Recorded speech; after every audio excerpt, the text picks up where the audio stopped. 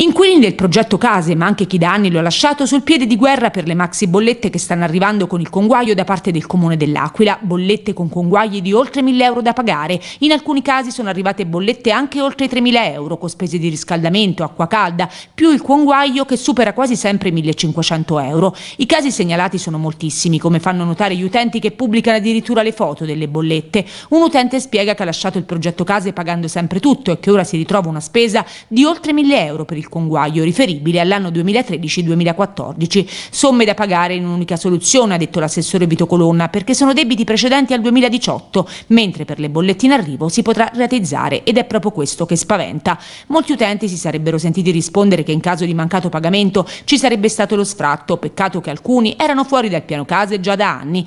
Altri, recandosi direttamente in comune, si sono sentiti rispondere che si tratta di bollette di consumo non arrivate e che dunque in quel caso si potrà rateizzare. Ad altri sono arrivate anche cifre superiori ai 4.000 euro. Le lettere di pagamento sono firmate dal dirigente Mauro Bellucci e quelle che stanno arrivando all'utenza sono numerosissime. La questione è molto lunga e complessa, se ne è occupato più volte il consigliere comunale Lelio De Santis, ma anche Giustino Massocco, che come commissione di garanzia ha inviato una relazione alla Corte dei Conti nei mesi scorsi sul tema. Il consigliere Paolo Paolo Romano invece chiede la convocazione di una commissione di vigilanza. Il comune per l'opposizione è colpevole perché tra le altre cose non emette bollette dal 2017 anche se chi ha consumato deve pagare seppur senza accanimento. Per l'assessore al patrimonio Vito Colonna comunque si tratta di un'operazione di equità fiscale e qualora la gente non dovesse pagare di fronte ai solleciti sarà l'agenzia delle entrate ad occuparsi della riscossione. Oltre ad un numero dedicato il comune nella sede di Via Roma ha attivato uno sportello dedicato che riceve solo previo appuntamento.